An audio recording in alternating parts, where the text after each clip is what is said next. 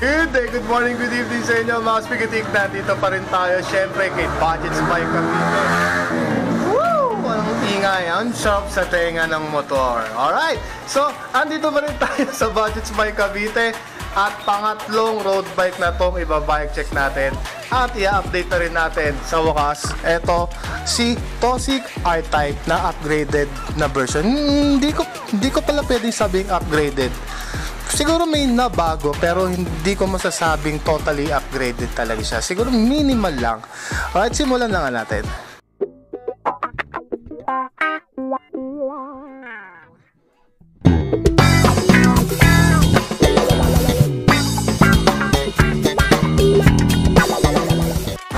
Simulan na nga natin yung update natin kay Tosik R-Type sa ngayong 2023. Ah, March na ngayon, so i-update na rin natin to para at least magkaroon kayo ng idea kung ano yung mga nabago sa Tosik R-Type. Okay, simulan na nga natin sa kanyang top tube. Top tube nito, syempre, hindi nawala yung kanyang warning. Yung hugis naman, dito makapal din panipis ng panipis hanggang seat tube niya. Same pa rin, ganun pa rin yung kanyang style ng uh, seat tube, walang pinagbago. Okay? Weld itself, makinis pa rin, ganun, pa, ganun na ganun pa rin. ICR niya, same pa din. Isa dito, tatlo dito, ay tatlo, dalawa dito. Okay, isa sa top tube, isa sa down tube dito. Okay, so update natin, ang nabago dito is yung colorway niya. Okay, yung dating kulay nito, oh, med, kala ko tataob. Dating kulay nito parang two colors lang, tapos pa, pag ano yung ah, pagkakahati ng kulay niya. Okay, so ngayon, ang nabago dito yung sa branding niya. Nasabi ko na to sa dati kong bike check para kay R-Type. Yung dati kong sinabi dito na medyo masakit sa mata dahil hindi ganong kapresentable yung branding niya. Napakakulay nun, daming glitters nun eh. Ito, napakasimple, very presentable na para sa akin. Hindi na siya masakit sa mata. Okay? Yung down tube niya, same pa din. Manipis pa rin. Dito manipis, then dito nagkaroon na ng bilog ng onte. Pero same pa rin naman siya, walang pinagbago. Lagayan ng bottle cage, same, same pa rin. Isa, dalawa. Meron ganun pa rin.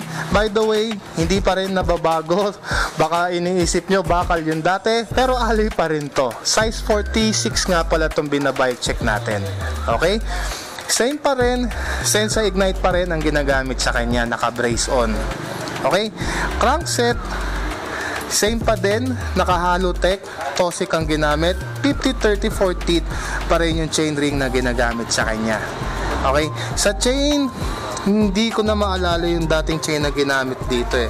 Pero ito, ang chain na ginamit dito is Tech Power. Okay? So, since ito ay 9 speed, nasabi na, na nga natin na Sensa Ignite, kasi pag Sensa Ignite is 9 speed talaga yan, Matic. So, Ignite na rin yung RD niya ito.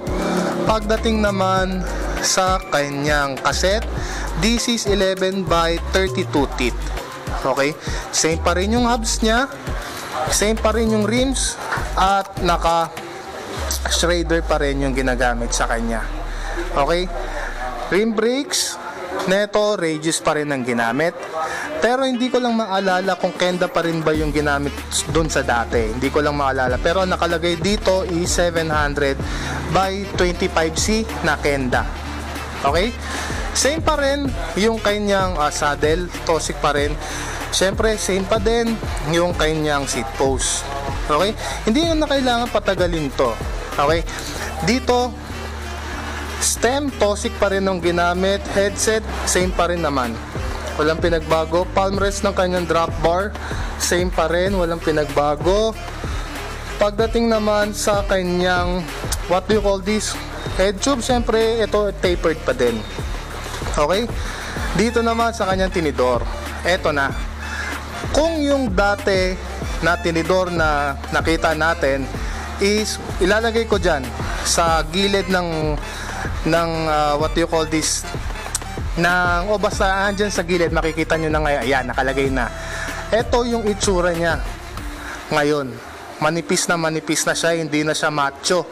Dati kasi macho siya. Ito dati nakaplex. Di ba? Dati nakaganyan yan. Ngayon, straight na siya at eh, may pagka-aero na talaga. Okay? Same pa rin. Yung kanyang rims na ginamit, Tosik pa rin. 700 by 25C pa rin yung rims na ito. Okay. So, mapunta naman tayo sa presyo neto ni Tosik R-Type.